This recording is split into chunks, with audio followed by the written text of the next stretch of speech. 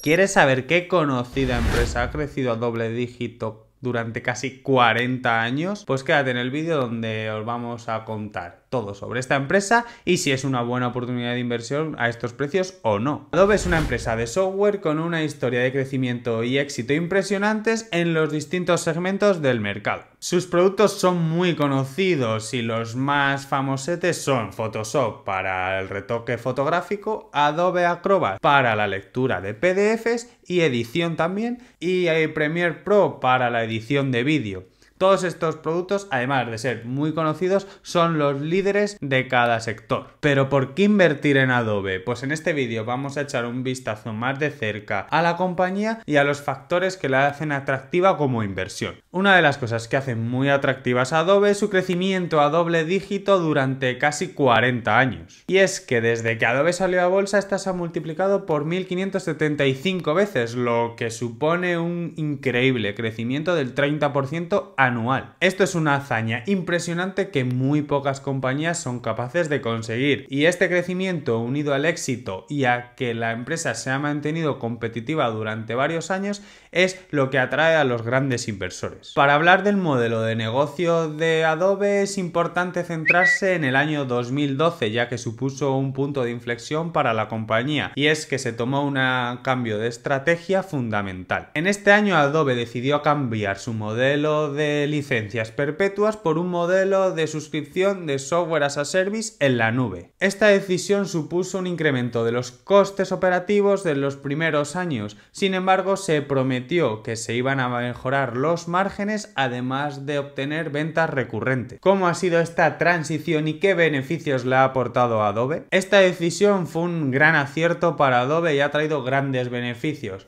Actualmente las ventas por suscripción suponen la mayor parte de las ventas totales de Adobe. Además, esto le ha permitido a la compañía expandir su margen operativo. Antes hemos comentado tres productos con los que cuenta Adobe, sin embargo, es que esta empresa cuenta con 95 productos de software que se clasifican en tres segmentos bastante bien diferenciados. Estos son los medios digitales, experiencia digital y publicidad. Claramente el segmento más importante de Adobe es el de Digital Media, el de medios digitales, y aquí me gustaría destacar su plataforma Adobe Creative Cloud. En este segmento Adobe domina gran parte de la cuota de mercado con productos como Photoshop, Illustrator y Lightroom contando con más del 90% de la cuota de mercado del sector de diseño gráfico. Adobe gana dinero en este segmento mediante su modelo de suscripción simple para empresas y particulares donde pagando una cuota mensual tienes acceso a todos los productos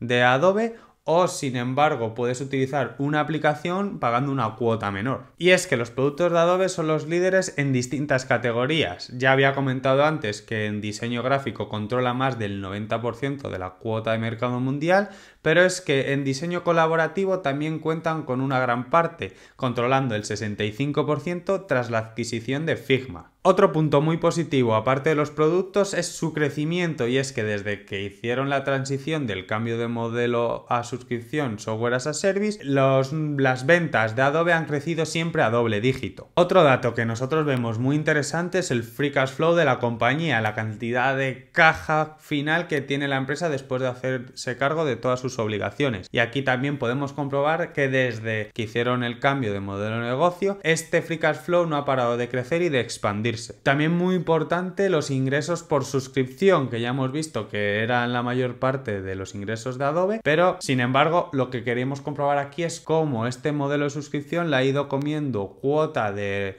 ingresos al modelo de no suscripción. Es muy importante para toda gran compañía contar y mantener con alguna ventaja competitiva. Y aquí, en este apartado, nos vamos a esperar a parar un poco más porque sí que es verdad que Adobe cuenta con varias. Primero vamos a hablar de su propiedad intelectual, ya que esta tiene un valor incalculable. Adobe ha estado desarrollando y mejorando distintos productos de software durante más de 40 años. Además, los clientes de Adobe son un activo intangible muy valioso, ya que les permite seguirle ofreciendo distintos productos y así aumentar las ventas orgánicas de la compañía. En segundo lugar, Adobe tiene la capacidad de subir recurrentemente los precios sin perder clientes y esto es muy importante porque permite absorber el incremento de costes operativos que se puedan dar. Esto es lo que se conoce como pricing power o poder de fijación de precios y personalmente considero que esta ventaja competitiva es una de las más importantes. Y por último, otra clave y otra gran ventaja competitiva de Adobe es la introducción de su plataforma Adobe Creative Cloud,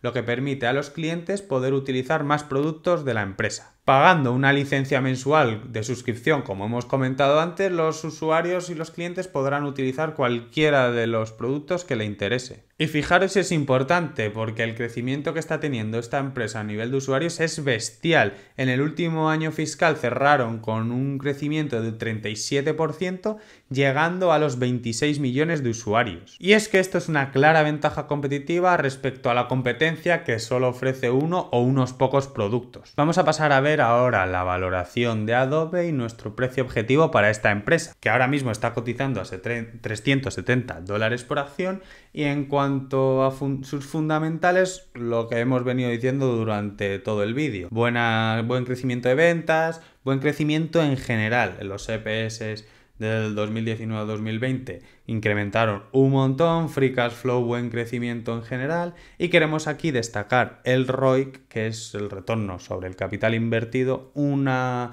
un parámetro que a nosotros o un múltiplo que a nosotros nos parece muy interesante para decidir si invertir en una empresa o no, tenéis un vídeo que os voy a dejar por aquí arriba donde hablo yo del ROIC. Y aquí destacar que en el año 2021 es del 28%, que es muy alto, pero es que en 2022 del 31%. Y también destacar eh, que el número de acciones ha ido disminuyendo. Esto siempre es buena noticia. Para su proyección a futuro vamos a establecer unas estimaciones algo seguras del 9% de crecimiento en ventas, que es el crecimiento que espera la propia compañía para el 2023, eh, de 33% de margen EBIT, lo que vienen haciendo los últimos años, tax rate lo dejamos igual y el número de acciones vamos a decir que sigue disminuyendo. Esto unido a un múltiplo de PER de 25 y de V Free Cash Flow igualmente de 25, que son múltiplos acorde al sector y a lo que lo viene haciendo la compañía, eh, contamos, vemos que tenemos un TIR anual, un crecimiento del 3% en cuanto al PER anual y del 8% en cuanto al EV Free Cash Flow. Como ves, son crecimientos bastante ajustados. Eh, nosotros con este crecimiento no invertiríamos en la empresa ahora mismo y sí que esperaríamos a un mejor precio.